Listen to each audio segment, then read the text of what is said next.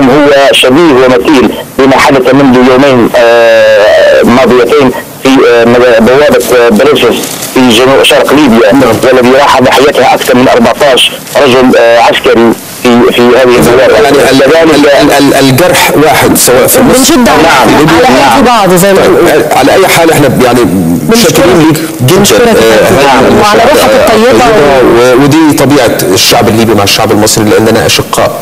حقيقة. جزيل ربنا. يعني يزيح آه، الغمة عن البلد. في أسعد، عايز اتكلم فيها في الآخر إنك تقولي-. فاضل دقيقتين مش كده؟ آه، أنا عايز أوعي الشعب. بايه اللي مح... إيه اللي إيه اللي مخطط له في الفترة اللي جاية؟ لغاية يوم 24 يناير لأنه مخطط خطير خطير خطير. بقول للشعب المصري اصحى لهذا المخطط. وهقوله زي ما اترصد بالظبط من الأجهزة من 20 ل 24 يناير. وصول 3.5 مليون إخواني.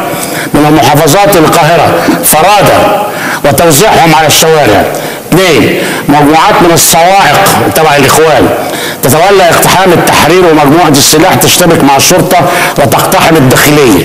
الهجوم على اقسام الشرطة ثلاثة الهجوم على اقسام الشرطة محاصره الصحف ومسبير ومدينة الإنتاج وتشكيل قوة تسمى الدفاع الشعبي لاعتقال الرئيس ورئيس الوزراء ووزير الدفاع. التفاصيل يوم 24 يناير الشعب المصري خد بالك اللي هيحصل وإن شاء الله ما يحصلش النهارده يعني. 24 يناير يناير، آسف، آه. المسيرات الاسم تحت اسم الإرادة المصرية الحرة الهدف هزيمة الانقلاب وعودة الشرعية المدة 24 ساعة متواصلة من 8 صباحا يوم 24 ل 10 صباحا يوم 25 مسيرة موحدة في كل محافظة.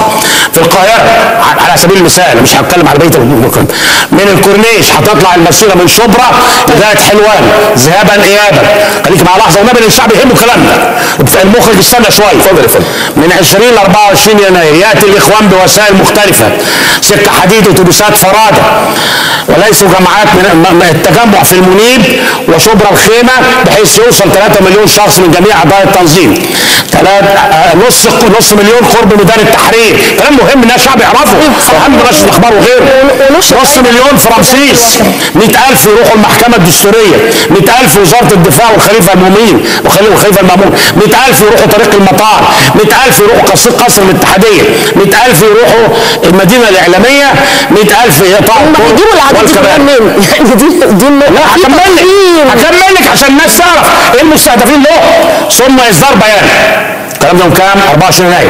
يناشد الأطراف بتدارك الموقف والإطاحة بالنظام القائم ثم يعقد ما يسمى بالتحالف مؤتمر صحفي مؤتمر صحفي تحت اسم ماذا بعد العودة بعد عودتهم يوم 25 هيحصل إيه؟ في المخطط بتاع التنظيم الدولي مع تركيا وقطر وأمريكا والإخوان اللي هنا. حالة عدم الاستجابة للمطالب وهذا أمر طبيعي يحصل إيه؟ واحد افتعال أحداث تمويهية تمويهية لإرهاق الأجهزة الأمنية مثل محاصرة السفارات ومؤسسات أخرى واشتباكات محددة في عدة أماكن. الحاجة الثانية الساعة 8 صباحا اقتحام التعتي...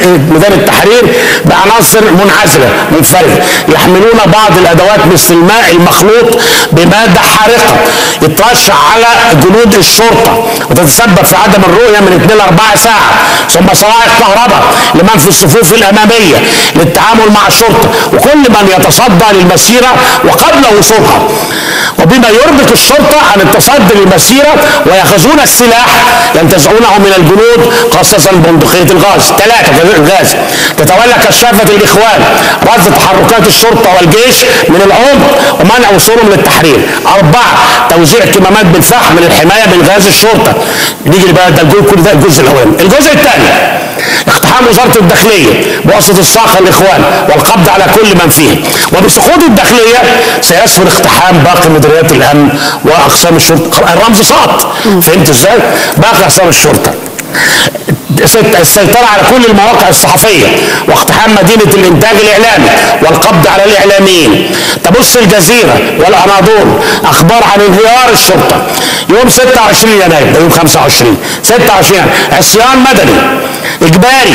يشمل اقتحام اقتحام المحكمة الدستورية وتعطيل وسائل الإعلام ومحاصرة سفارة إسرائيل والتحفظ على مجلس الوزراء والقبض على رموز النظام وتشكيل محكمة ثورية تتحرك المسيرات على مدار 72 ساعة. ده اليوم الثاني دون توقف مع تسيير دوريات من الإخوان بهدف إنهاك الجيش والشرطة. يتواكب مع ذلك تحريك عناصر إخوانية من ليبيا. ترتدي ملابس الجيش. استنى عليها والنبي ثم تدريبها. تم تدريبها في مصراتة ترتدي زي الجيش المصري إلى مطروح للحاق بوجود انشقاق في قوات الجيش مع تحريك جماعات مسلحة من السودان وزيادة الأعمال الإرهابية في سيناء بدفع عناصر من حماس وجيش الإسلام إلى شمال سيناء وغزة. وبيقولوا هذا يتطلب التنسيق مع الائتلافات الثورية 6 إبريل وغيرها للمشاركه ارباك النظام في المدارس والجامعات والعمل على تعطيل المواصلات نشر قوائم سوداء للقضاة والإعلاميين الترويج لسيطره الدستور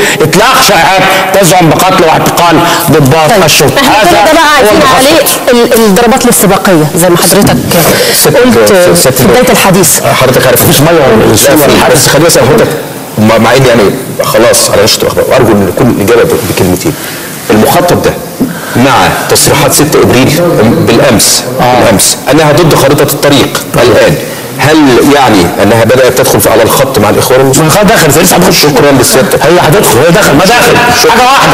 هو مين اللي رباهم ومين دربهم ومين مولهم مش في فريدم هاوس مش في صربيا مش في لندن في أكاديمية التغيير مش في الدوحة. والشيكات اللي بتيجي لهم منين مش من أمريكا. ها؟ كان مش معروف. الشعب يعرف. حديث حضرتك يعني مثمر بصراحة وأكيد هيكون لنا لقاءات تانية كتير على الهوا في المرحلة اللي جاية لأن المرحلة اللي جاية ممكن آه، يظهر فيها أحداث كتيرة جدا بنبقى محتاجين إن إحنا نعرف خيوطها مش بس كمان بدري. ردود فعلها. بدري. خيوطها بدري. والضربات الاستباقية اللي اتكلمت عنها. حضرتك آه، ذكرت. أشكرك جزيل الشكر سيادة اللواء حسام سويلم الخبير على العسكري والاستراتيجي على هذا اللقاء. شكرا لحضرتك ست ومشاهدينا الكرام إلى هنا تنتهي هذه الحلقة. لكم كل التحية من القاهرة. متابعات مستمرة على شاشة النيل الأخبار. شكرا لكم وإلى اللقاء. Thank you.